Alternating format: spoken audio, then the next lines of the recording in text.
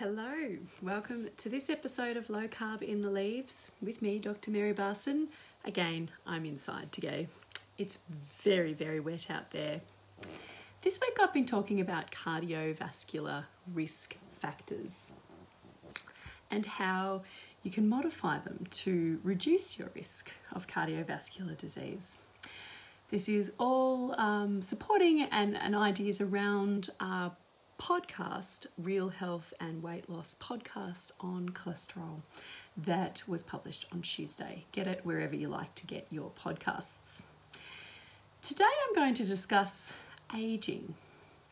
So, aging is a risk for heart disease and strokes. Um, older people are, the more likely they are to have heart disease and strokes, and it's always traditionally been classed in the non modifiable risk factors.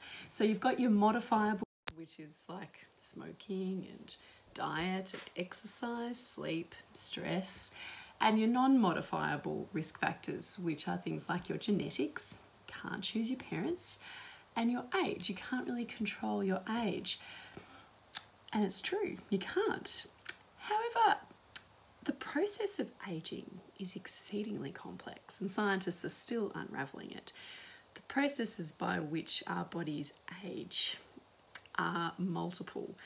There's um, mTOR regulation, telomere attrition, um, just genomic instability, there's uh, stem cell degradation, there's all kinds of practices, um, all kinds of hallmarks of aging. There's like nine or ten of them. I'm not going to go into them now, it's sort of beyond the scope of this little coaching call. They, it, it's a complicated process by which we age. And the interesting thing, though we can't do anything about the fact that we're just going to get older, that's just going to happen, we can age more gracefully and healthily. And there is lots that we can do within our lifestyle that really changes the way in which we age, right down to that cellular biochemical level that can literally alter those hallmarks of aging. And the biggest factor that we can that, that we can all engage in to modify our aging and to keep ourselves healthy, improve our lifespan is diet. It is, it's absolutely number one. Diet. Saying goodbye to the standard Australian diet, standard American diet, the sad diet, and hello to a nutrient dense real food diet. If you limit your processed sugar, your processed flours, and your processed foods, you're doing really, really, really, really well, and you will already be modifying those hallmarks of aging. Fasting, intermittent fasting, absolutely fantastic. We still don't know what is sort of the optimum length of fasting with humans in mouse models. It's been shown that 24 hour fasts in mice really reduce their mTOR activation, which is one of the um, those hallmarks of, of, of cellular and biochemical aging. But as mice have um, much faster metabolisms than us, it's reasonable to assume that in humans we'd need to fast for a bit longer than 24 hours. But even a 24 hour fast would, does great things for your health and longevity. Managing your stress, it's fantastic studies looking at telomere attrition, and the telomeres, without getting too complicated, uh, each of our chromosomes has got a little cap on the end that helps it from stops it from unraveling, and that is called the telomere and it's kind of like the little cap on the end of a bootlace, if you can imagine. And if you've ever lost those caps and perhaps your bootlaces have started to unravel, sort of like what telomeres are.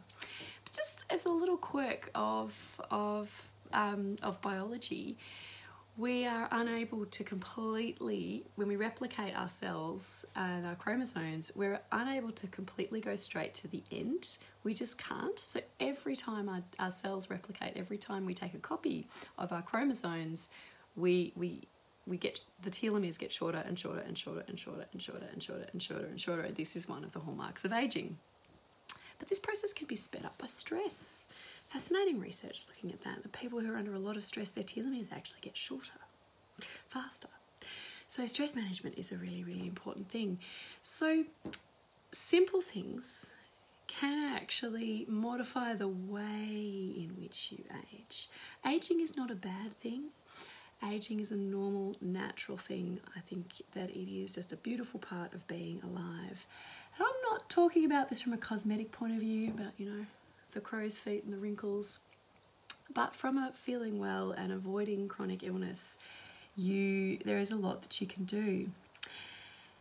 There is sort of broadly speaking two ways in which we can age. You know, we can deteriorate slowly over time, getting more and more debility um, until we eventually die, or we can stay as well as we possibly can for as long as we possibly can and then die.